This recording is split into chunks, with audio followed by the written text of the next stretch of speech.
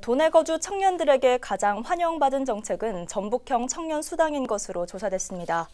전북도가 지난달 17일부터 30일까지 12개 청년 정책 사업 선호도 조사를 실시한 결과 전북형 청년 수당 정책이 63.3%를 기록해 1위를 차지했습니다.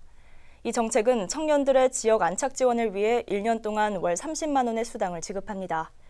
정책은 지난 2019년 광역 지자체에서는 처음으로 추진됐습니다.